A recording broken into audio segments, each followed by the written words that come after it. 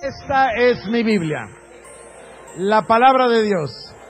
Yo soy lo que mi Biblia dice que soy. Yo tengo lo que mi Biblia dice que tengo. Y puedo hacer todo lo que mi Biblia dice que puedo hacer. Hoy la leeré, la escucharé. La semilla incorruptible de la palabra de Dios transformará mi vida para siempre. En Génesis 2.7 y en Primera de Tesalonicenses 5:23, donde la Biblia con claridad nos explica que el hombre es un ser de tres partes, espíritu, alma y cuerpo. Entonces hemos tomado este mensaje de la guerra espiritual y lo hemos fraccionado en tres partes, espíritu, alma y cuerpo. De esa manera nos damos cuenta nosotros de cuál debe ser nuestro actuar de cuál debe ser la actividad de la iglesia. Y en la primera parte nosotros tuvimos en el pasado, no sé si en realidad lo pueden leer, espero que sí, tuvimos en el pasado una descripción en el campo del Espíritu que enumeraba las palabras con las cuales la Biblia llama a los poderes. En Efesios capítulo número 1, verso 21. En Efesios capítulo número 6, verso 12, en Colosenses capítulo número 1, verso 16 y Colosenses 2.15, la Biblia nos habla de principados. Ustedes recordarán el pasaje. El pasaje dice, porque no tenemos lucha contra carne y sangre, sino contra los principados, contra potestades, contra los gobernadores de las tinieblas de este siglo, contra huestes espirituales de maldad en las regiones celestes. Y nosotros hemos uh, puesto una lista ahí que enumera estos que llamamos poderes. Alguna persona les llama también los poderes cósmicos. Cósmico dando a entender que no se trata de algo creado o generado por los hombres, sino al contrario, se trata de algo que denominamos sobrenatural. Entonces, dentro de esta lista de los poderes, hemos visto nosotros que no son solo los cuatro de Efesios 6.12, sino que tenemos otros nombres, como por ejemplo tronos, señoríos, autoridades. En Efesios capítulo número 1 incluso se incluyen todo nombre que se nombra, no solo en este siglo, sino también en el venidero. Todos estos constituyen la clasificación de los poderes. ¿Y qué son los poderes? Son entidades espirituales, seres que no tienen cuerpo, seres espirituales sin cuerpo que habitan en esa área que la Biblia denomina las regiones celestes. Entonces, quiere decir, querido hermano, que está usted hablando de demonios, sí, exactamente. Todos estos seres de diferente rango y de diferente jerarquía caben dentro de esta palabra que es mucho más común a nuestro vocabulario. Demonios. Se trata, y les voy a llamar una y otra vez, verán ustedes, de los poderes. Y nosotros, en la segunda clasificación, en el área del alma, incluimos otro tipo de entidades. Los poderes necesitan manifestarse de alguna manera. Y como son seres sin espíritu, ¿Cómo pueden ellos manifestarse en el área del cuerpo humano? Bueno, para poder tener en realidad una actividad en el campo natural, estos seres sin cuerpo están siempre a la búsqueda de cómo, escuchen lo que voy a decir, de cómo demonizar a una persona o a unas personas o a un conglomerado social o a una nación, en fin, de oprimir, de actuar o de manifestarse a través de las personas. Claro, en algunos casos esto es muy obvio. Tenemos un ejemplo muy hermoso en el Evangelio de un hombre que estaba demonizado y pertenecía a la región de Gadara, de tal manera que se le llama el Gadareno. Y es un buen ejemplo este de laboratorio casi, en el cual Jesús llega a este lugar y tiene un encuentro de poder un choque con este hombre. Evidentemente ese demonio que se llamaba legión ejercía una autoridad que rebasaba los límites del individuo. Es decir, no se quedaba solamente en demonizar a ese hombre en particular, sino iba mucho más allá. Era lo que hoy en día nosotros llamamos un espíritu territorial, un demonio que tiene una área de autoridad territorial o geográfica. ¿Por qué lo digo? Sigamos. Jesús llega y este hombre empieza a gritar, desde luego, los demonios en él empiezan a gritar y Jesús le echa fuera. Y ellos le piden permiso a Jesús y le dicen, déjanos aquí, por favor, permítenos que no salgamos de esta región. Si leyésemos nosotros en una Biblia en inglés, sería mucho más claro, dice, permítenos que no salgamos de este país. Es mucho más claro, el área de autoridad. Y Jesús les deja ir a los cerdos, ustedes lo recuerdan, en un acto de dos mil cerdos a este espíritu que se llama legión. Y lo que pasa a continuación es muy revelador. Lo que pasa a continuación es que este hombre obviamente siente amor, agradecimiento por Jesús, es, es algo natural, podemos entenderlo muy fácilmente porque Jesús le acaba de libertar. Entonces el hombre quiere irse con Jesús. Pero pasa algo muy curioso. El Señor Jesucristo no se lo permite, sino que le dice que se quede ahí y trabaje ahí donde vive publicando el Evangelio. Y hace de este hombre que hace un momento estaba demonizado con una legión de demonios, Jesucristo lo libera, lo llama al ministerio y lo convierte en evangelista todo instantáneamente. Y este hombre va y predica el Evangelio, escuchen ustedes, en Decápolis. Decápolis significa diez ciudades. De manera que venimos a entender que ahora la opresión que se manifestaba a través de este hombre se convierte en libertad para ir y llevar el Evangelio en diez ciudades. Probablemente y eso es tema de investigación, podríamos encontrar que este espíritu sujetaba ese determinado territorio. Me van a escuchar decir esto más de una vez. No hay ninguna ni una sola palabra extra en la Biblia. Cada palabra tiene un significado específico que Dios, el Espíritu Santo, dejó ahí para que nosotros fuésemos beneficiados con la luz que viene de la Escritura. Nosotros Empezamos a entender entonces que estos espíritus inmundos, principados, potestades, gobernadores, todos estos demonios, estas entidades espirituales, necesitan una manera de manifestarse. ¿Y cómo lo hacen? Si no encuentran una persona como el Gadareno. Porque en algunos casos, pues cualquiera de nosotros diría, mire hermano, yo no estoy como el Gadareno. Mire, yo soy nacido de nuevo, lleno del Espíritu Santo, hablo en lenguas, asisto a la iglesia, etcétera, etcétera, etcétera. Bueno, el diablo, sus principados, potestades, etcétera, quieren manifestarse, o tal vez no debo usar esa palabra, sino una mejor, necesitan expresarse o necesitan manifestarse a través de alguien que tenga acceso a los dos reinos. ¿Quién es la criatura, única criatura en toda la creación que tiene acceso a ambos reinos es el hombre. Porque el hombre tiene acceso al reino espiritual, pero vive aquí en el reino natural. Todos nosotros debemos estar conscientes de la verdad de la palabra. Estamos aquí. Yo estoy en esta noche de 29 de mayo aquí enfrente de ustedes a las 8 de la noche.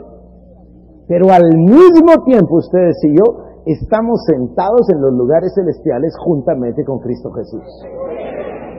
Tenemos entonces esta calidad excepcional por ser las criaturas las únicas creadas a imagen y semejanza de Dios.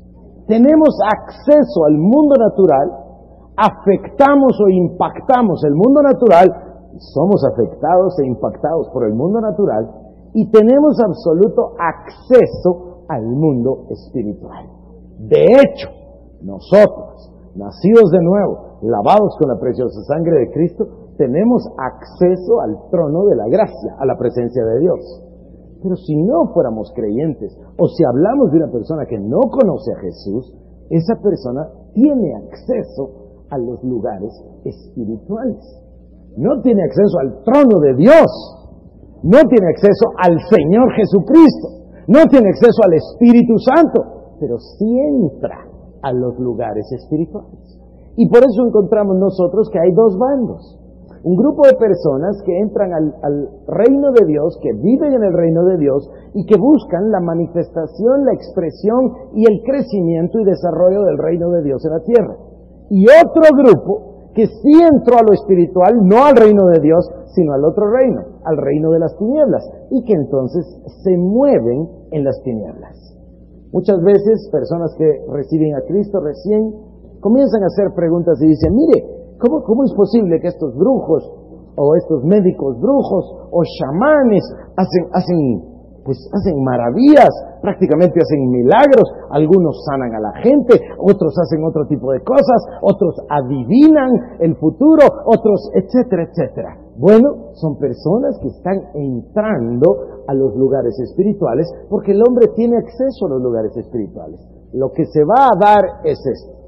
El creyente nacido de nuevo tiene acceso al reino de Dios.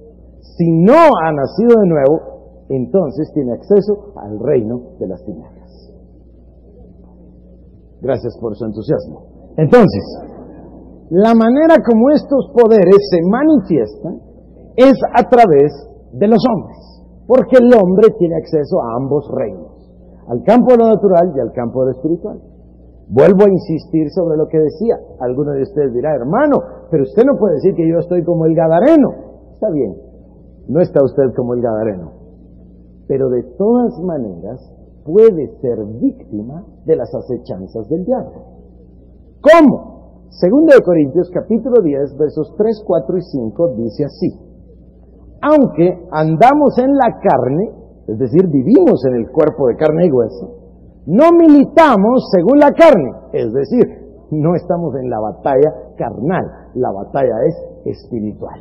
Y dice, nuestras armas no son carnales, sino poderosas en Dios, y aquí nos va a introducir a otro campo, para la destrucción de fortalezas, derribando argumentos y toda altivez que se levanta contra el conocimiento de Dios y llevando cautivo todo pensamiento a la obediencia a Cristo Jesús.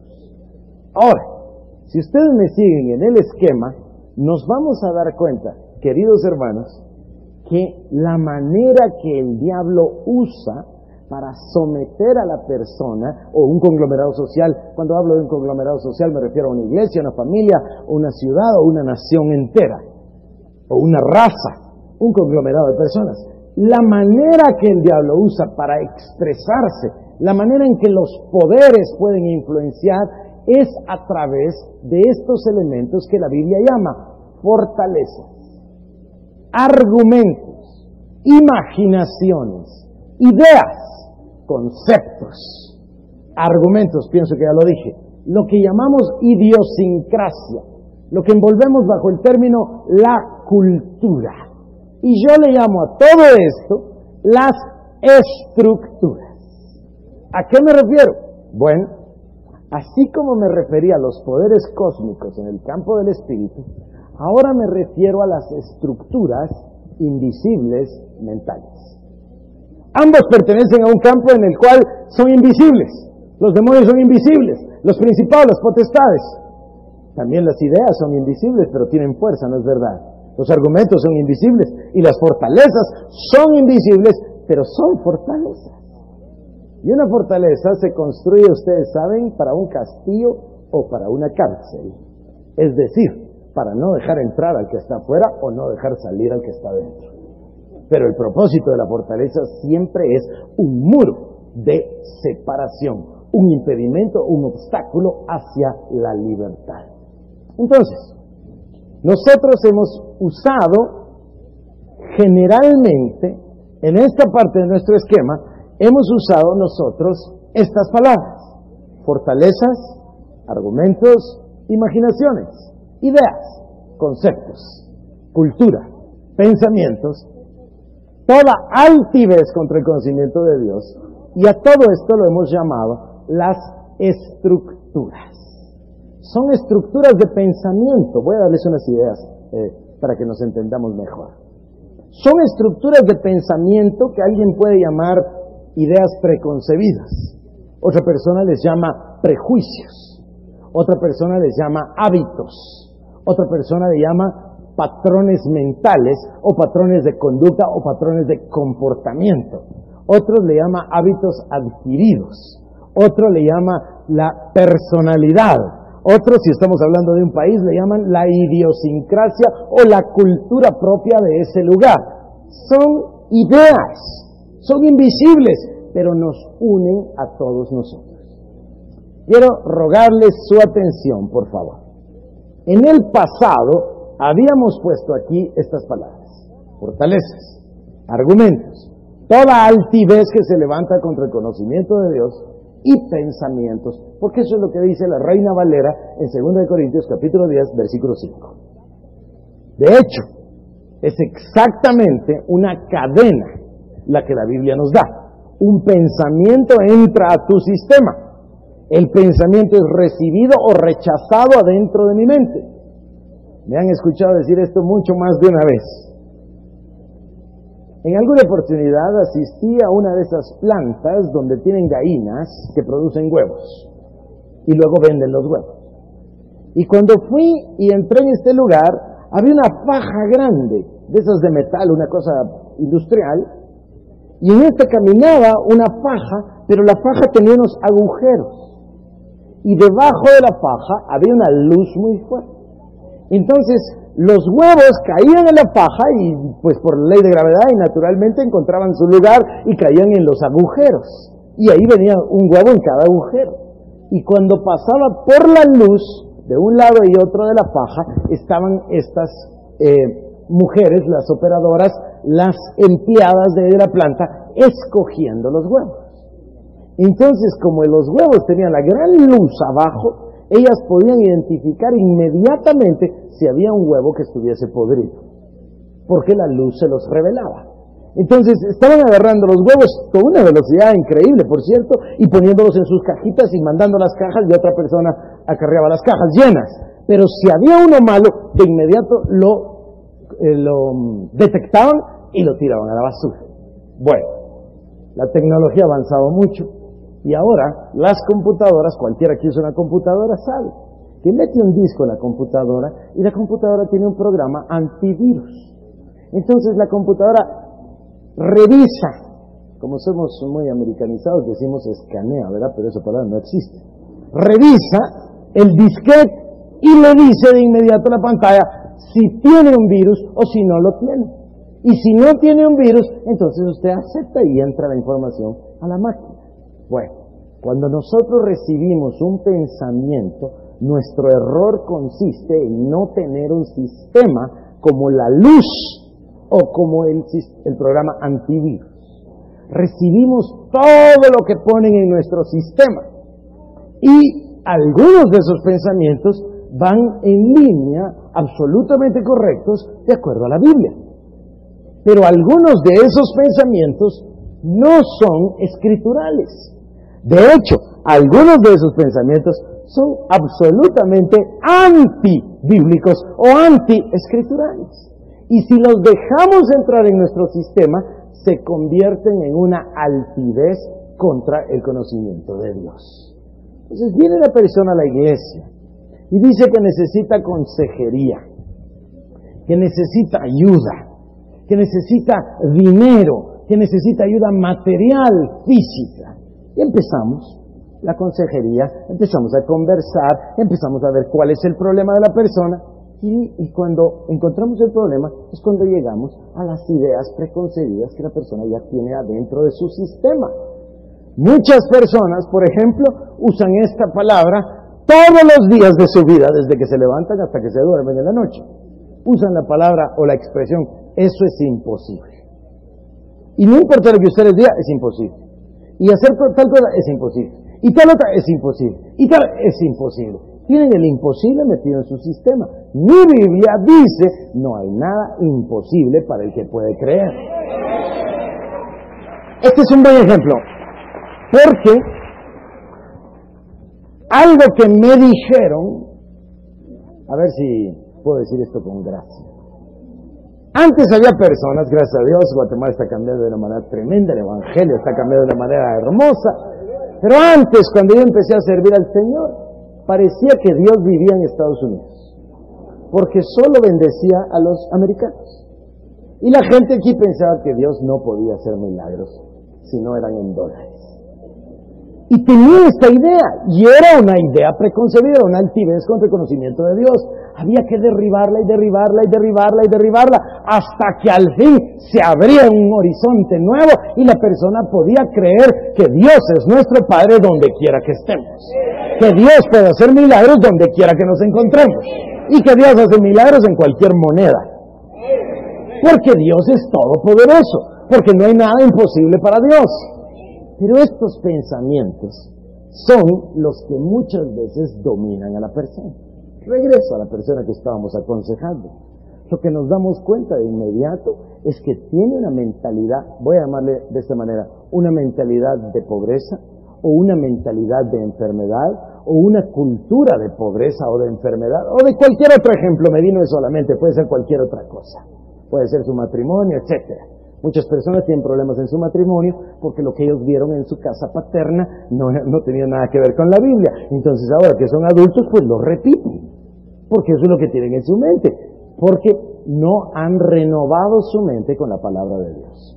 Pero me estoy tardando mucho, déjenme seguir. Y por último, cuando nosotros veíamos que estos poderes se manifestaban a través de las estructuras, obteníamos consecuencias físicas, aquí, naturales, a las cuales llamamos, por ejemplo, cubierta de tinieblas, o a las cuales la Biblia llama, 2 Corintios 4:4, velo de ceguera, traducido en el lenguaje del hombre de la calle, resistencia para recibir a Cristo, resistencia al evangelismo. Nos encontramos con que los poderes lo que quieren es mantener sujetas a las personas. Actúan a través de estructuras mentales para impedir el libre flujo del evangelismo. Bueno, así estuvimos tratando el tema por bastante tiempo. Hoy queremos introducir un par de cambios y ahora sí vamos a pasar al otro esquema. Quiero que me pongan atención, va a ser muy importante estos cambios que estamos realizando. Va a ser muy importante no solamente para hoy, sino para lo que tenemos por delante. Por eso me estoy tomando este tiempo. Como ustedes saben, o no sé si lo saben, perdonen, tengo un gran aprecio por un hombre de Dios cuyo nombre es Pedro Wagner. El hermano Pedro Wagner ha sido mentor para mí, ha sido maestro para mí, ha sido muchas cosas y me ha bendecido de muchas maneras.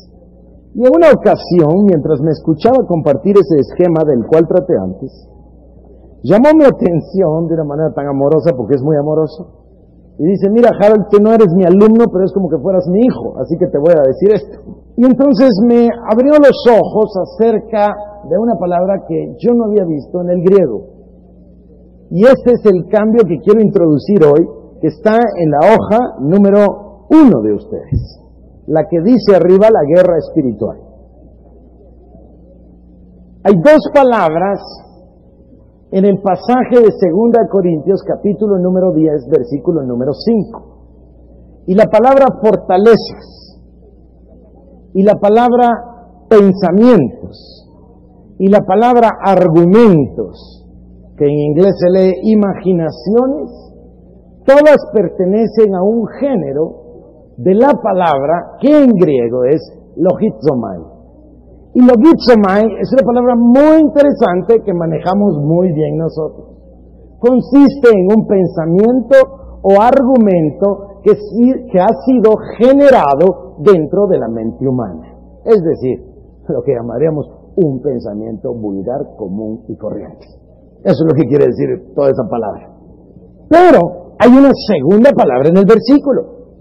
Y la segunda palabra se aplica, ya ustedes ya lo saben, a la única que nos quedó fuera del versículo 5, altiveces contra el conocimiento de Dios. Y la palabra altiveces contra el conocimiento de Dios es la palabra upsomai. Y cuando nosotros vemos esta palabra, nos encontramos con que tiene un origen diferente. De manera que ahí, ahí en el área del alma, donde hablábamos de fortalezas, argumentos, ideas, conceptos, ideologías, cultura, pensamientos, ahí metíamos nosotros toda altivez que se levanta contra el conocimiento de Dios. Está incorrecto. No va ahí. La palabra altivez va arriba. Y miren ustedes, ahora tenemos una lista distinta. Principados, potestades, gobernadores de las tinieblas de este siglo, huestes espirituales de maldad en las regiones celestes. Y ahora ahí añadimos altivez. Y les voy a dar la definición. Estas altiveces son poderes cósmicos, traducidos en ideas astrológicas, diseñadas para introducir, que Dios nos perdone por esa palabra división con C, entre Dios y el hombre. Allá está con ese, a mí me dieron una aquí con C. Está bien, ok. Está bien. Estas altiveces no son pensamientos de origen humano. Ojo, por favor, pónganme atención, es muy importante esto. No son pensamientos naturales o humanos. Son o equivalen a la influencia de poderes cósmicos. De hecho, en el que practica la astrología, la palabra para ellos sería culminación, porque andan tratando de llegar al lugar alto, ¿verdad? Jehová por eso es el Altísimo. Pero, en fin, estos poderes cósmicos diseñan estas ideas y actúan junto con estas ideas, influencian al hombre junto con las ideas cuyo fin es separar al hombre de Dios. Es muy fácil de entender si les doy un par de ejemplos. Cuando una persona recibe un pensamiento, tiene la opción, alternativa u oportunidad de recibir el pensamiento solo así o compararlo con la palabra de Dios y posteriormente a compararlo con la luz, decidir si lo deja entrar o no. Pero cuando un cristiano, un creyente, nacido de nuevo, lo deja entrar y no se ocupa de que si esto es bíblico o no es bíblico, de que si esto está de acuerdo con Dios o no está de acuerdo con Dios, de que si esto está bien o no está bien, sino que solo lo deja entrar, abrió la puerta de la desobediencia. Y ahí se le mete no solo una idea, sino un poder detrás de la idea. Entonces esta palabra no pertenece al campo del alma, esta palabra pertenece al campo del espíritu. Miren, vamos a ver si puedo decir esto correctamente. Después de tener más de 10 años de pastorear, he conocido muchísimas reacciones, pero aprende uno a observar. Trabajar con la gente es una cosa muy hermosa, porque todos los días es distinto, hay una multiplicidad, una variedad, todos los días es diferente, no es, no es la monotonía de una máquina. Y entonces uno aprende a observar. Y yo observé en este pasar del tiempo que cada vez que yo atacaba ciertas y particulares entidades espirituales o fortalezas mentales, al lunes en la mañana recibía unas llamadas por teléfono. Y ya se volvió sistema. Y como soy observador y me gusta fijarme que sumo uno con uno con uno con uno, ya la cuarta vez ya es un patrón. Entonces empecé a fijarme que no se trataba solo de bombardear ideas, sino que estaba atacando espíritus. Y que los que reaccionaban, porque quién sabe que las ideas no reaccionan. Los que reaccionan son los que tienen las ideas, pero las ideas no reaccionan. Entonces, eran estos poderes cósmicos los que reaccionaban violentamente cuando se les atacaba. Bueno, yo comparto una amistad muy hermosa con el hermano Edgardo Silvoso. Edgardo está casado con Ruth Palau, hermana de Luis Palau. Y Dios nos ha bendecido, Cecilia y a mí, con amistad con ellos. Y estamos hablando con Edgardo un día de las fortalezas. Y me dice Edgardo, yo te voy a dar mi secreto. Mira, cuando tengo esas reuniones interdenominacionales o intradenominacionales y tenemos que tratar al mismo tiempo con carismáticos, con pentecostales, con cuando los americanos, Edgardo vive en Estados Unidos, cuando los americanos hablan de carismáticos se refieren a lo que nosotros en Guatemala llamamos pentecostales. Pero en Estados Unidos por alguna razón se le llama carismático. Entonces, me dice él, cuando tienes que hablar con los pentecostales o denominacionales y además tienes que hablar con los bautistas y además con los presbiterianos y además, entonces ¿sabes qué hago?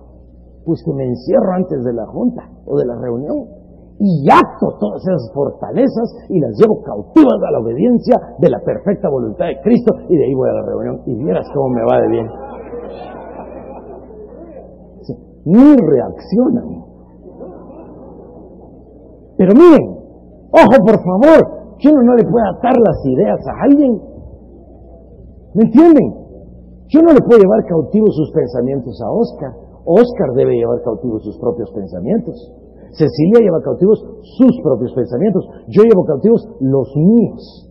O sea, yo no voy a atarle los pensamientos. Pero si no estamos hablando de pensamientos, sino de unos poderes cósmicos, eso ya es otra cosa. ¿Me están siguiendo? Es un cambio muy significativo. Pasamos al número 3. Y aquí, en el área del cuerpo, perdón, eh, sí, gracias. Aquí en el área física sí hemos hecho cambios. El primero ya lo conocen bien, se llama ceguera espiritual o le podemos llamar velo de ceguera. Segunda de Corintios 4:4 dice, el Dios de este siglo ha cegado el entendimiento de los incrédulos para que no les resplandezca la luz del Evangelio de Jesucristo, que es la imagen de la gloria de Dios. Entonces, el Dios de este siglo, el diablo, ha cegado el entendimiento de los incrédulos para que no les resplandezca el Evangelio. Bueno, ustedes saben que si nosotros tenemos una persona y a esa persona le ponemos un vendaje en los ojos, pues la persona no nos puede decir si está la luz prendida, si está la luz apagada, si la puerta queda a la derecha o a la izquierda, porque no puede ver. Este es el aspecto de la ceguera espiritual. Pienso que esto lo hemos tratado, así que voy a ir un poquito más rápido. Tenemos luego los cielos cerrados. Esto es en oposición a los cielos abiertos. Cuando Jesús, ah, cuando Jesús le fue introducido a Natanael, o a Natanael le fue introducido el Señor, cualquiera de las dos formas como lo vean, Natanael viene y dice, pero ¿cómo es posible? ¿Acaso puede salir algo bueno de ahí? No, no, no, no, no, no, no. No creo que este sea el Mesías. Llegan a donde está Jesús y el Señor Jesucristo le dice, desde que, desde que estabas bajo la higuera, la higuera te vi. Y Natanael se sorprende y dice, ah, entonces tú eres el Mesías, Señor, y me empieza a, alabar. Y dice, porque te dije, te vi debajo de la higuera, ¿Me, ¿me dices esto? Cosas mayores que estas verás. Verás los cielos abiertos y verás a los ángeles descendiendo y ascendiendo sobre el Hijo del Hombre. Ya vamos a tratar este tema que es muy importante. Cuando veamos el viernes el tema de las puertas, vamos a hablar de estas puertas en particular, por donde los ángeles ascienden y descienden. Pero entonces Jesús lo que le estaba diciendo es, vas a ver que en mi ministerio, Jesús probablemente no lo hubiera expresado con esas palabras, pero, pero yo estoy tratando de ilustrárselos, lo que Jesús dice, lo que vas a ver conmigo es que vas a ver que los cielos están abiertos. Entonces, en sentido contrario, usamos nosotros la palabra los cielos cerrados y es parte de la maldición. No tengo mucho tiempo para ir, pero ustedes lo pueden ver en, en Deuteronomio capítulo 28. El pecado siempre da lugar a la maldición. Por eso dice Proverbios 26.2, no hay maldición sin causa. Cuando hay pecado, hay maldición. Parte de la maldición son los cielos cerrados. Cuando un pueblo se entrega a la idolatría o al paganismo, automáticamente se cierran los cielos sobre ellos. Número 3. Y esto me interesa muchísimo. Vamos despacio, hermanos, pero vamos avanzando. Puertas cerradas. Cerrojos de hierro. Bueno, una consecuencia del pecado, una consecuencia del paganismo, una consecuencia de abandonar a Dios, una consecuencia de que los poderes sean entronados, es que se cierran las puertas. He usado muchas veces el ejemplo de Corea. En 1957, 58, Corea estaba pasando tremendos problemas. Recién salida de la guerra, 8 de cada 10 coreanos eran tuberculosos. No tenían que comer. No había comida en el país ni dinero con qué comprarla. Los árboles de la calle estaban pelones porque la gente arrancaba las hojas para hacer sopa y comérselo. Bueno, es un lugar donde diríamos que las puertas de la oportunidad estaban cerradas. En 1958 comenzó su iglesia, el que ahora es pastor de la iglesia más grande del mundo, el pastor Yonggi Cho. Y el pastor Cho abrió o fundó o levantó su iglesia literalmente sobre la oración. Y conforme ellos fueron orando y orando y Dios les fue enseñando acerca del ministerio de la intercesión, el país comenzó a cambiar. Los cielos fueron abiertos sobre Corea. Y con esto no me refiero solamente al evangelismo. Claro, el evangelismo es el factor decisivo, porque se debe dar el evangelismo para que se produzca una reforma, porque la gente es reformada, porque es nueva. Y cuando la gente ha sido reformada, entonces se puede producir la restauración, como ustedes saben, las tres palabras de un avivamiento, ¿verdad? Entonces, se necesita el evangelismo, pero como producto del evangelismo, de las almas salvas, de las personas y vidas cambiadas, se generan muchos subproductos. ¿Por qué? Porque se abren las puertas de la oportunidad. Se abren los, los cerrojos de hierro, son rotos. Isaías capítulo 45, primero Dios lo miremos en detalle. Dios ungió a Ciro, un hombre que ni siquiera le conocía. Dice, yo te ungí, tú ni siquiera me conociste. Y te ungí, le dice el Señor, precisamente para eso. Para abrir las puertas cerradas y romper los cerrojos de hierro. Número cuatro. Le he puesto a esto acceso vedado. En Apocalipsis capítulo 3 y versículo 7 encontramos un pasaje tremendo. Dice, que el Señor Jehová Dios es el que cierra y cuando Él cierra, ninguno abre. También dice, Él es el que abre y cuando Él abre, ninguno cierra. Pero dice, fíjense ustedes, yo soy el que cierro y cuando cierro, ninguno abre. Quiere decir que hay oportunidades o situaciones o circunstancias o casos en los cuales Dios es el que cierra. Y cuando Dios cierra, todo lo demás es de balde, ¿verdad? Porque está cerrado. Cuando Él cierra, nadie puede abrir. Entonces, se produce un acceso vedado, una puerta cerrada, como consecuencia de la maldición, cuya eh, perdón, la maldición a su vez es consecuencia del pecado. Entonces, vamos a avanzar y llegamos a este punto. A ver si yo voy a explicar esto por lo menos dos veces porque es muy importante. Cuando tenemos una cubierta de tinieblas sobre un lugar, sobre una casa, sobre una familia, sobre una ciudad, sobre una iglesia, sobre una nación, entonces tenemos literalmente tinieblas sobre el sitio. Probablemente ustedes recuerden en 1980, 81 y 82 cómo la situación de nuestro país fue en un proceso degenerativo. Al punto que en 1982 ya todos, creyentes y no creyentes, salvos y no salvos, usaban este tipo de terminología, una nube negra, una cubierta de tinieblas sobre el país. Recuerdo que nos visitó un evangelista puertorriqueño en ese entonces y lo definió con claridad. Dios me muestra, dijo, una nube, una cubierta de tinieblas sobre Guatemala en ese entonces. Ahora, ¿en qué consiste una cubierta de tinieblas? Una cubierta de tinieblas es el lugar en el cual el diablo o los principados potestades, etcétera, los demonios, se pueden mover. Recuerden ustedes que ellos están sujetos a prisiones de tinieblas. Entonces solo se pueden mover donde hay tinieblas.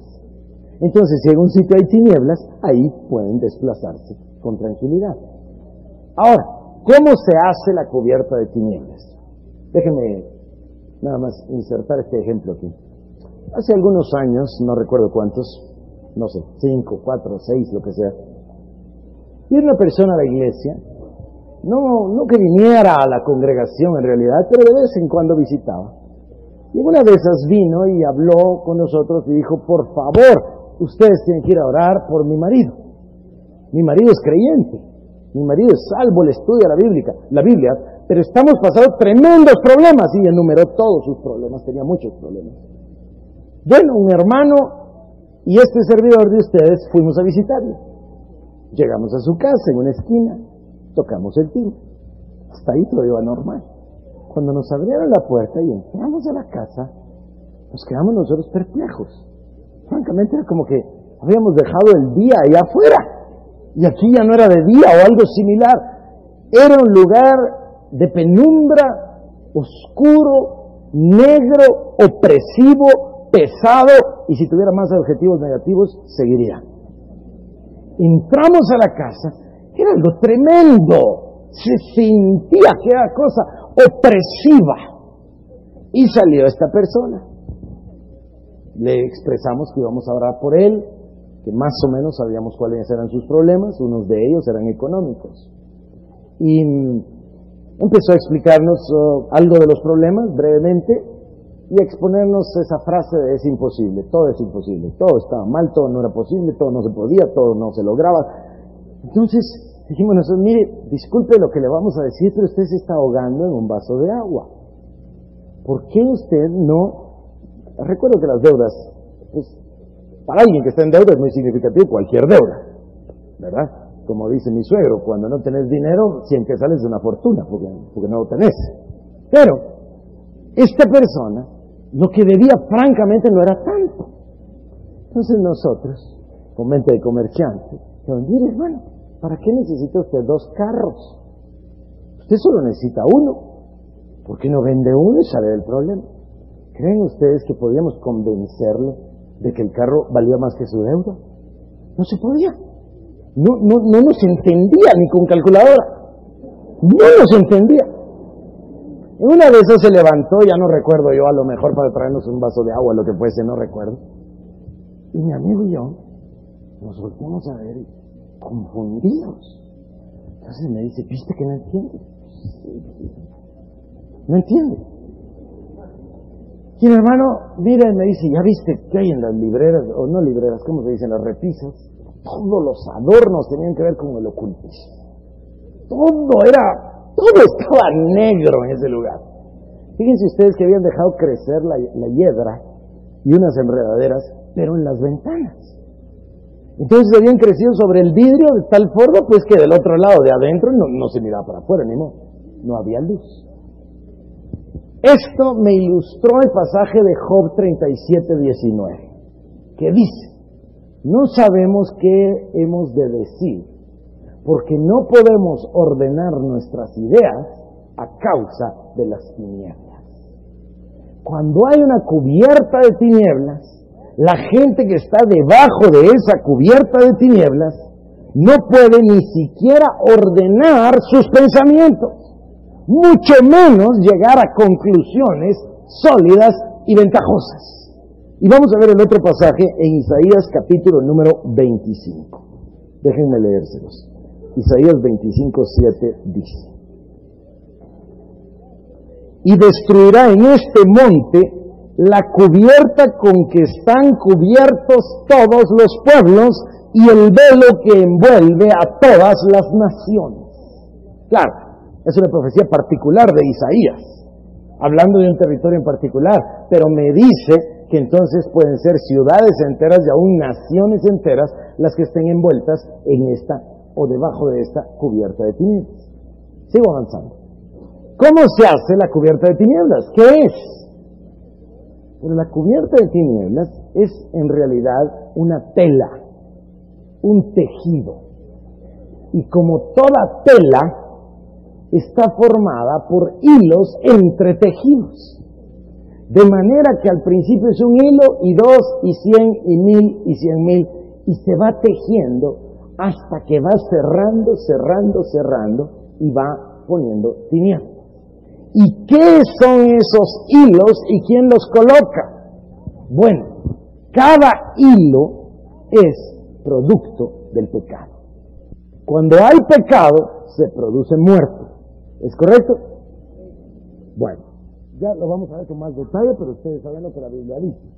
En Jesucristo estaba la vida, Juan 1, 4 y 5, y la vida era la luz de los hombres. Bueno, entonces fíjese bien, la paga del pecado es muerte. Si en la vida está la luz, que hay una muerte. Oscuridad. Entonces la consecuencia del pecado siempre es la muerte. Así dice la Biblia. La paga del pecado es muerte. Y la muerte se traduce en final. De manera que cuando se empieza a pecar y pecar y pecar, se empieza a tejer una cubierta de tinieblas. No que no se pueda destruir, eso es lo que vamos a aprender, pero así es como se produce una cubierta de tinieblas. Pasemos a la siguiente hoja, me imagino que es la número dos. La tarea de la iglesia. Yo no tengo el tiempo hoy, amados hermanos, de entrarle a todo el esquema. Ustedes recordarán que cuando vimos ese esquema, y ustedes tienen ahí la hojita, hablábamos de varias cosas. Hablábamos, perdón, hablábamos, por ejemplo, de qué es la guerra espiritual, quiénes son los sujetos con los que peleamos. Después tratamos este tema hermoso con ustedes que se llama el por qué, y vimos la herencia. La herencia biológica o genética en el campo del cuerpo, la herencia en el campo del alma y la herencia espiritual en el campo del espíritu. En su oportunidad también hablamos del mapeo espiritual en tres términos. Espíritu, alma y cuerpo. Es decir, el factor espiritual, el factor histórico o cultural y por último el factor físico. Luego hablamos de la tarea de la iglesia. Como no tengo el tiempo de ir sobre todo el esquema, ahora paso a este, la tarea de la iglesia. Y aquí también tengo unos cambios muy particulares que quiero introducirles el día de hoy, porque en este año, desde que nos vimos la última vez, hemos avanzado y Dios en su misericordia nos ha enseñado no solo teoría, sino que también práctica. Entonces quiero compartir con ustedes la tarea de la iglesia. Y aquí sí hay varios cambios. El número uno persiste. La guerra espiritual en sí, la batalla. Algunas personas le llaman oración de guerra, la mera batalla en el espíritu. Este es el trabajo de los que oran, de los que claman, de los que libran la batalla. Y se desarrolla de acuerdo a Efesios 3.10 que dice que la multiforme sabiduría de Dios sea ahora dada a conocer por medio de la iglesia a los principados y a las potestades en los lugares celestiales. De tal manera que es la iglesia la encargada de dar a conocer la multiforme sabiduría de Dios. ¿Dónde está la multiforme sabiduría de Dios? En la palabra de Dios. En otras palabras, es la iglesia la encargada de orar la palabra. Porque cuando la iglesia ora la palabra pasa algo muy impresionante. Salmo número 103, versículo 20. Dice, bendecida Jehová vosotros todos sus ángeles poderosos en fortaleza. Y después dice la escritura, que los que obedecen a la voz de su mandato. Los ángeles se desplazan cuando escuchan la voz del mandato de Jehová. En otras palabras, cuando nosotros oramos, hacemos lo que hizo eh, David cuando peleó contra Goliat. Goliat se dejó venir como un gigantón y David nada lento involucró a Dios en el conflicto. Y le dijo, tú has desafiado los escuadrones del Dios de Israel, no los escuadrones de Saúl, hombres de carne y hueso, a los ángeles de Dios metió en el conflicto. Me pareció muy sabio, ¿verdad? Y de ahí este hombre que dice que lo vio jovencito e inofensivo, Goliat tampoco era ningún lento, entendía más de lo que entendemos a veces, y dijo, y se dejó el contra él, dice, y le maldijo por sus dioses. Claro, David había involucrado a Jehová, el gigantón tenía que involucrar a los de él. Solo que el de nosotros es más grande. Gloria a Dios. Ok. Entonces, cuando nosotros entramos con la palabra de Dios y nos dirigimos al enemigo, al enemigo, escúchame, al enemigo, no a la gente, porque nuestra lucha no es contra carne y sangre, sino que es contra principados, potestades, etc. Entonces, cuando nosotros nos dirigimos al enemigo y lo que oramos es la palabra de Dios, hay un segundo ejército. Por eso me gusta tanto esa palabra Mahanaim. Dos campamentos, un campamento aquí y otro encima. Uno natural y uno espiritual. Cuando actuamos espiritualmente, el campamento espiritual se mueve por nosotros.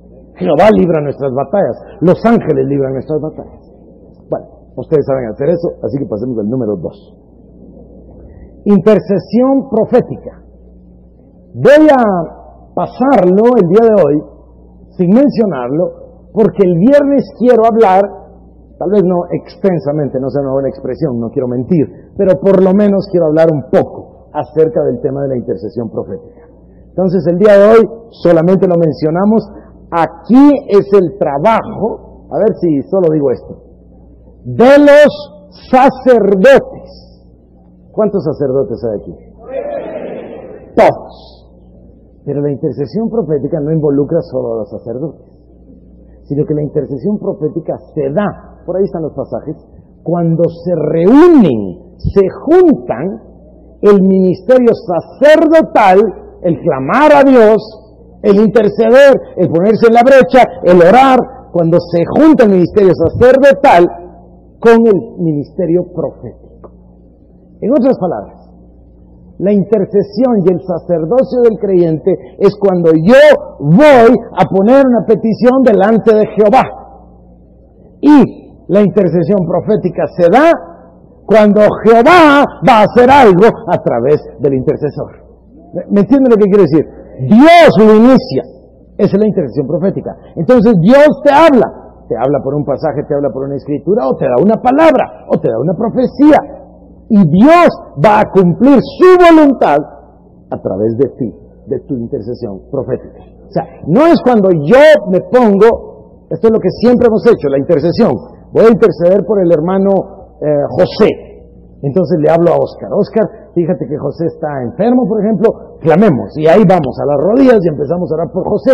Y clamamos la palabra. Por las llagas de Jesucristo, José fue curado, etcétera, etcétera, etcétera. Eso es la intercesión que hacemos normalmente oramos por alguien, nos ponemos en la brecha. Intercesión profética involucra otro elemento. Es Dios el que toma la iniciativa. Y Dios va a poner la carga profética en ti, en cualquiera de nosotros, para darla a existencia, traerla al plano existencial. Ya vamos a hablar de eso con detalle. Número tres. Esto lo conocen también muy bien. Atar y desatar. Las llaves del reino de acuerdo al Evangelio según San Mateo. No creo que necesitemos hacer énfasis aquí, sino vamos a lo próximo. Ahora tengo dos conceptos que quiero darles. El primero es este, atar y vencer al hombre fuerte. Atar y vencer al hombre fuerte. ¿Se recuerdan que dice la palabra de Dios? ¿Quieren ir conmigo a Lucas capítulo 11? E, esto es hermoso. Podemos ir al Evangelio según San Lucas o podemos ir al Evangelio según San Mateo. Vayamos a Lucas 11 de primero. Espero que estén contentos porque yo estoy muy contento. Dice la palabra en Lucas 11:21. Dice así, cuando el hombre fuerte armado guarda su palacio, en paz está lo que posee. Fíjense bien, cuando el hombre fuerte armado guarda su palacio, en paz está lo que posee. Quiere decir que el hombre fuerte armado está absolutamente atrincherado ya en su palacio y todo lo que tiene está en paz.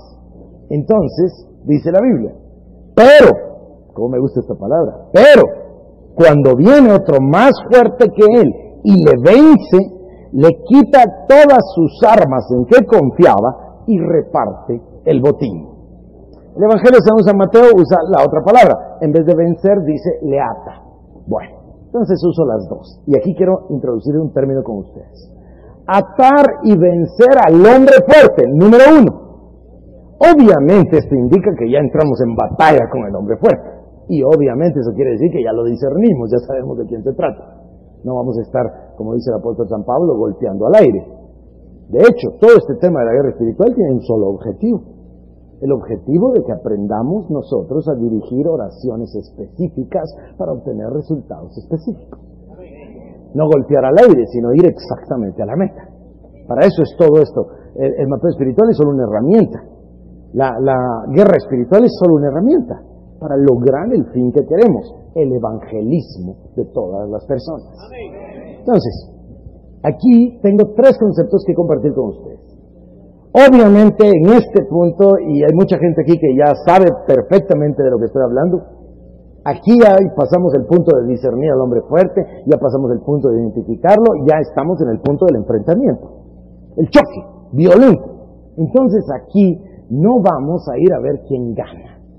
Aquí vamos a ir a atarlo y vencerlo. Ahora, ojo con esto, porque nos quedábamos en el, en el punto anterior. Atar y desatar. Ahí nos quedamos. Teatro, espíritu de lo que fuese, de hechicería, espíritu de control, espíritu, etc. Teatro. Está bien, ya está atado. ¿Y ahora qué?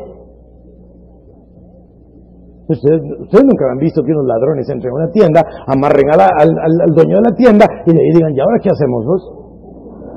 ¿Me, entienden? Ya, ya lo amarramos vos, ahora hay que hacer algo. ¿Está bien? Entonces, tenemos aquí estos conceptos.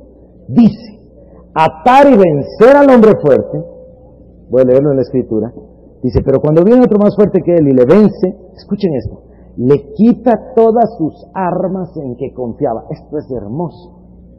¿En qué armas confiaba el hombre ¿Se acuerdan de esas dos palabritas, logizomai y upsomai?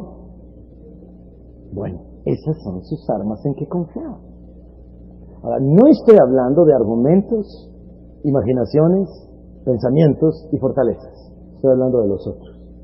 Altiveces contra el conocimiento de Dios. Poderes cósmicos detrás de esas ideas. Esas son sus armas en que confía. Porque no solamente tiene una idea metida en la cabeza de alguien, sino que tiene a alguien encargado de que la idea se quede ahí. ¿Me estoy explicando? Entonces debemos arrebatarle. Déjenme citarles un ejemplo. Fui a la ciudad de Kuala Lumpur, en Malasia, hace un par de años, más o menos, más o menos, ya no recuerdo. Pero pienso que fue hace un par de años. Estuve ahí una noche en una iglesia y ustedes podían respirar las amenazas. Se sentía algo por algún lado. Posteriormente yo lo supe. No lo sabía en ese momento de la predicación. Lo supe después. Es un país musulmán. El Islam es la religión oficial. El gobierno es un gobierno musulmán y es prohibido el Evangelio. Hay tres razas en Malasia chinos, hindúes y malayos. Bueno, predicarle a los chinos y a los hindúes es posible, es legal. Pero predicarle a un malayo es un delito, en cuyo caso se va a la cárcel. Entonces, el gobierno y la estructura social son los malayos. Solo malayos pueden trabajar en el gobierno. Solo malayos pueden recibir concesiones del gobierno. Solo malayos, etcétera, etcétera. La lista de beneficios es inmensa. Entonces ellos están atrincherados en el poder, por así decirlo. Y detrás de ellos este espíritu del Islam. Entonces, yo fui a predicar esa noche, les digo, se sentía la, la opresión, pero no era una opresión, era una amenaza, esa era la idea. Y después yo supe que era lo que pasaba. En realidad existe un espíritu de intimidación. Por ejemplo, un domingo ellos predicaron de Timoteo y entonces decidieron orar por las autoridades. Entonces la gente se puso de pie en la congregación. Esta es una iglesia muy grande y muy hermosa, por cierto.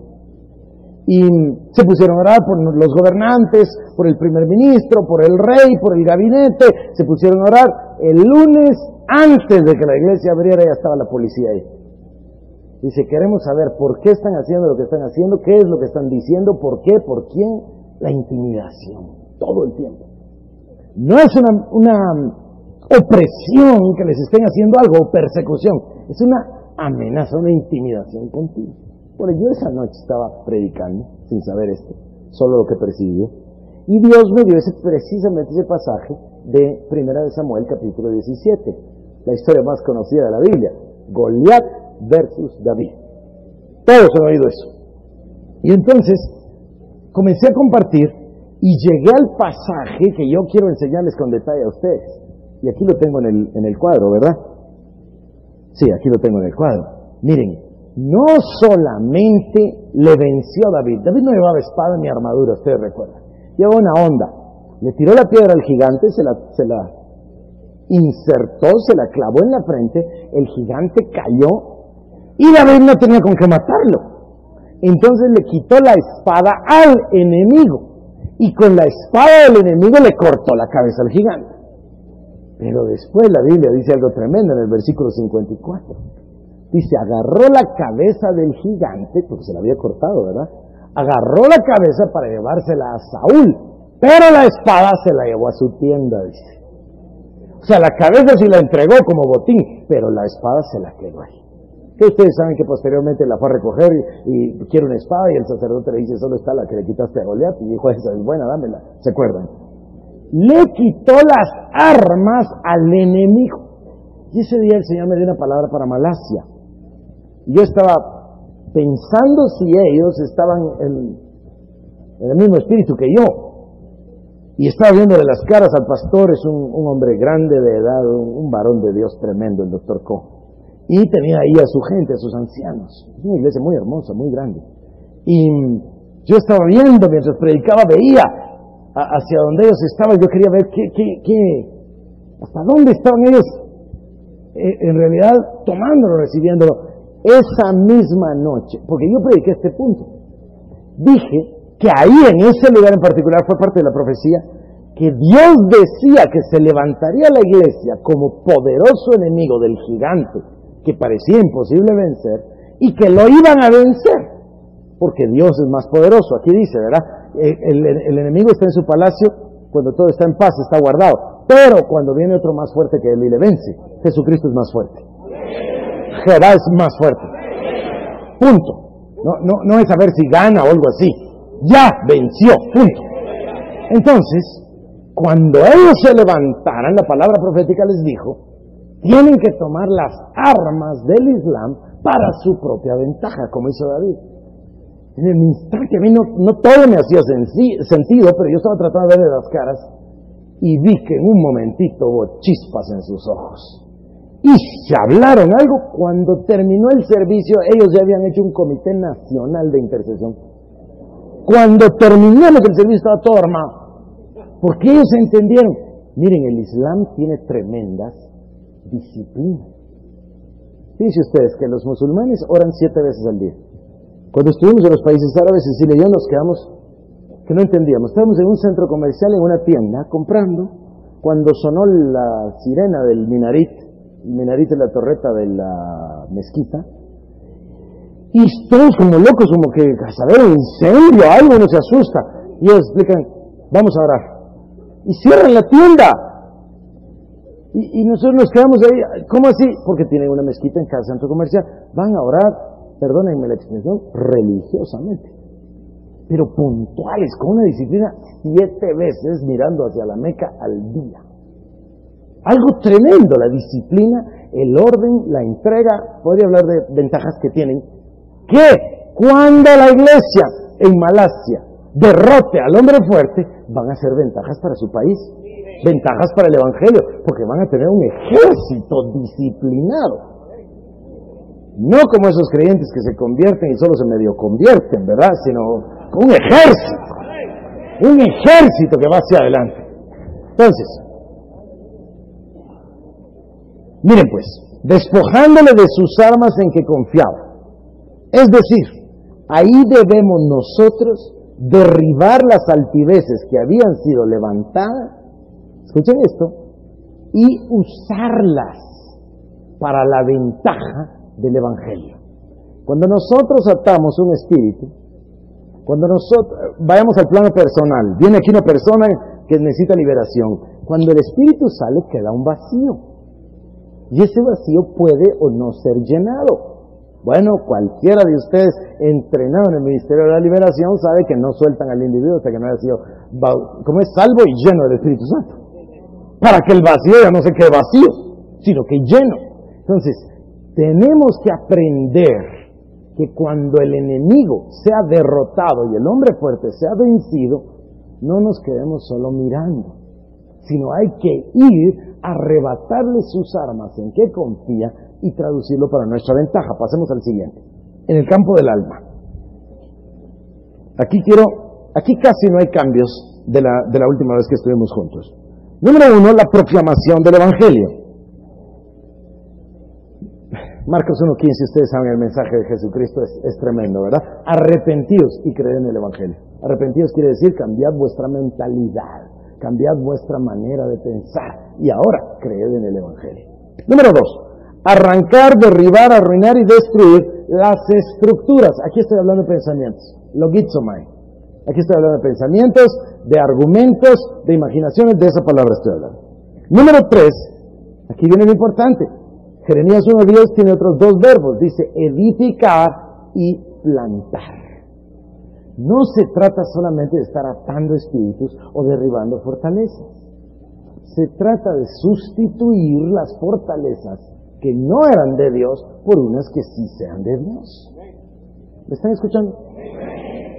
Necesitamos plantar en la mente de las personas, plantar o edificar fortalezas que son fortalezas de Dios. En realidad no es un buen nombre fortalezas, perdónenme. Plantar ahí, edificar la palabra de Dios. No se trata solamente de quitar una fortaleza, se trata de sustituirla. Cualquier psiquiatra, cualquier psicólogo nos va a decir que un hábito no se quita, sino que se sustituye. Luego, como lo hacemos, número cuatro, esperanza. Esperanza. ¿Cómo edificamos y plantamos? Con esperanza. Esta es la palabra más hermosa que existe, hermanos. Esperanza es el ministerio de Jesucristo. Esperanza. Cuando nos paramos aquí, a mí me divierte porque yo de aquí sí lo miro todo, ¿verdad? Entonces veo las caras. Y algunos, los domingos, cuando nos paramos y hacemos nuestra confesión de fe, algunos tienen cara de escépticos. Y algunos, otra vez me van a poner a hablar. Para algunos tal vez sea hablar, para otros es el espíritu de fe. Creímos por lo cual hablamos. Algunos les echan aceite, a otros los ungen con el Espíritu Santo. ¿Me, entiende la diferencia? Entonces nosotros debemos de dar el mensaje de esperanza para plantar y edificar. Y por supuesto destruimos las fortalezas con las armas poderosas en Dios. Número tres, el cuerpo. Aquí sí hay cambios que quiero mencionar hoy. Ya se me está haciendo un poquito tarde. Número uno, ustedes recordarán que aquí teníamos organizar a la iglesia para el evangelismo. Teníamos otro que decía ministerio espiritual. Teníamos otro que decía alimentar. ¿Se recuerdan? Bueno, está correcto, todos esos son, son válidos. Pero quiero subrayar dos o tres cosas diferentes aquí que he aprendido y no solo he aprendido, he hecho, he vivido, he experimentado y he visto los resultados. La primera es esta. Si yo no estaba convencido, ahora tienen a alguien enfrente que está súper convencido de los actos proféticos. Actos proféticos. Les voy a dar unos. Esto es fantástico. Estas son ideas de Dios. Génesis capítulo número 13. Génesis capítulo número 13. Les quiero enseñar algo.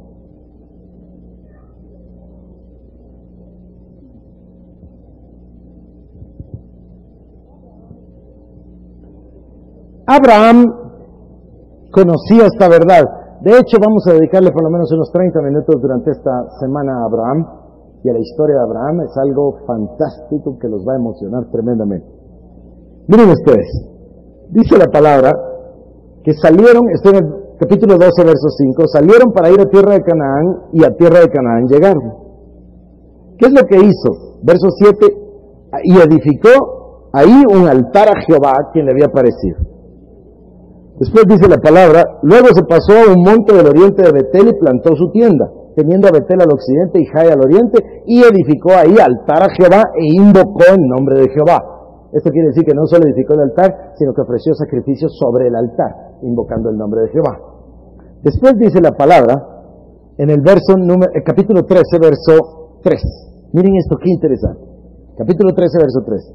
Y volvió por sus jornadas desde el Negev hasta Betel hasta el lugar donde había estado antes su tienda, entre Betel y Jai.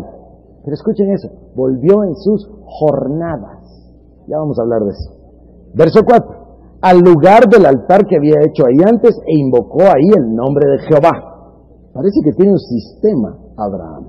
Capítulo 13, versículo número 17. Dios le acaba de dar la promesa de la tierra prometida. Y ahora miren el capítulo 17, el capítulo 13, verso 17. ¿Están listos? dice, levántate, ve por la tierra a lo largo de ella y a su ancho, porque a ti te la daré. Este es un acto profético. Abraham fue y caminó la tierra a lo largo y ancho. Mañana voy a leerles el, recuento de, de este acto y se van a quedar ustedes absolutamente impresionados del entendimiento que estos rabinos judíos tenían hace 900 años. ¿Cómo entendían que el acto profético? Miren, la voz de la Torah dice así. El la voz de la Torah es, es un documento. Y dice así, el Talmud deduce de esta frase que el hecho de que una persona recorra a lo largo y a lo ancho una propiedad sobre la cual tiene ciertos derechos constituye un acto de adquisición. Fíjense ustedes. Tenía ciertos derechos, sí tenía la promesa de Dios. ¿Cuántas veces Dios te promete algo? Y nosotros, pero es que no pasa, dice la gente, es que no hacemos nada al respecto. Se los voy a repetir, dice el Talmud, deduce de esta frase que el hecho de que una persona recorra a lo largo y a lo ancho una propiedad sobre la cual tiene ciertos derechos constituye el acto de adquisición.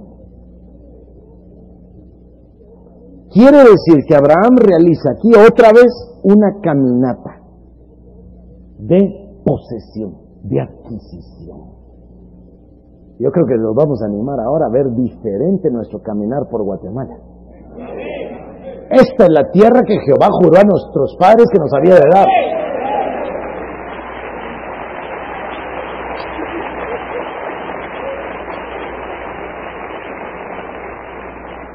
José 1.3 dice, yo os he entregado, como lo había dicho Moisés, todo lugar que pisare la planta de vuestro pie. ¿Es claro o no? Absolutamente claro. Miren esto, Jeremías capítulo 51. Estoy deteniéndome aquí, pero esto es tremendo y ya voy a terminar en un momentito. Jeremías 51, 63. Y esto es esto tiene mucho que ver con nosotros, hermanos. Estos son juicios en contra de Babilonia, juicios en contra de la reina del cielo. Y miren lo que dice Dios. Y cuando acabes de leer este libro, le atarás una piedra y lo echarás en medio del Éufrates. ¿Pero qué sentido tiene? Agarrar el rollo, eh, amarrarle una piedra y tirarlo en el río. Y dirás, Aquí está el fin del, acto profético. Y dirás, así se hundirá Babilonia y no se levantará del mal que yo traigo sobre ella y serán rendidos. Hasta aquí son las palabras de Jeremías. ¿Quieren ustedes ver que este acto profético realizado por un ángel en relación a Babilonia, capítulo 18 de Apocalipsis? Este es el mismo juicio contra Babilonia, solo que aquí el acto profético lo realiza un ángel. Capítulo 18. Esto es tremendo. Verso 21. Miren esto. 18-21, Apocalipsis. Y un ángel poderoso tomó una piedra, como una gran piedra de molino, y la arrojó en el mar diciendo, con el mismo ímpetu será derribada Babilonia, la gran ciudad, y nunca más será hallada. Este es un ángel realizando el mandato de Jehová, un acto profético. ¿Qué quiere decir un acto profético? Bueno, es como si fuese una profecía, solo que actuada. Por eso es un acto. Es algo que hacemos, no solamente algo que hablamos. Por eso se llama un acto o actividad profética. Una profecía es una manifestación de un don del Espíritu Santo por el cual hablamos algo que Dios habló a nuestro corazón. Es decir, Dios habla por medio de una persona. Ese es el ejercicio del don de profecía. Pero aquí no estamos hablando del don hablado nada más, sino junto con una acción. Segunda de Reyes. Y con esto vamos a avanzar. Segunda de Reyes capítulo 13. Miren esto, esto es tremendo. Esto es del profeta Eliseo. Había guerra. Y el rey Joás, rey de Israel, dice, descendió a él Joás, rey de Israel, llorando delante de él, le dijo, Padre mío, Padre mío, carro de Israel y su gente de a caballo. ¿Saben qué quiere decir, verdad? Lo que estaba diciendo es, por favor, eh, que venga el segundo ejército porque solo nosotros no podemos. Y le dijo a Eliseo, toma un arco y unas saetas. Tomó él entonces un arco y unas saetas. Luego dijo Eliseo al rey de Israel, pon tu mano sobre el arco. Y puso él su mano sobre el arco. Entonces puso Eliseo, el profeta, sus manos sobre las manos del rey. Y dijo, abre la ventana que da al oriente. Y cuando él abrió, dijo Eliseo, tira. Y tirando él, dijo Eliseo, se fijan, este es un acto y ahora viene lo hablado, la palabra.